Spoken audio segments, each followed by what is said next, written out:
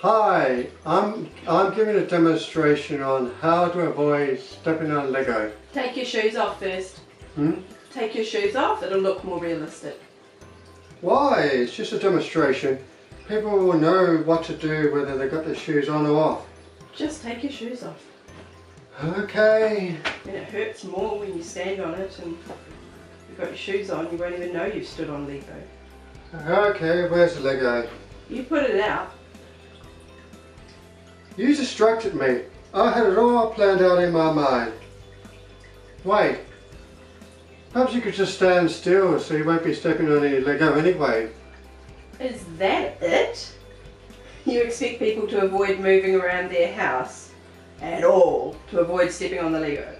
Well, I am because I don't know where the Lego is. This is the worst demonstration ever. you're not supposed to know anyway, which is why you're supposed to do the demonstration. We discussed this earlier. Okay, fair point. Let me just have a quick look. Ow! It's okay, it wasn't Lego.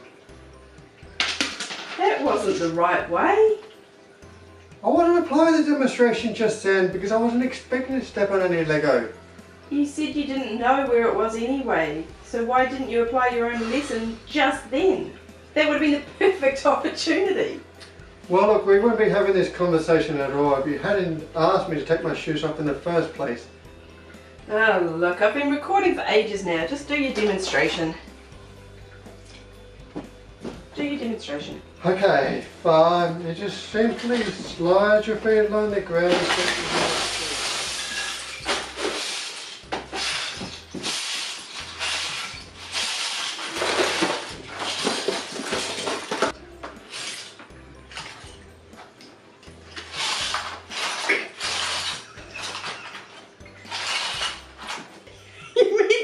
Scoot in front of the camera.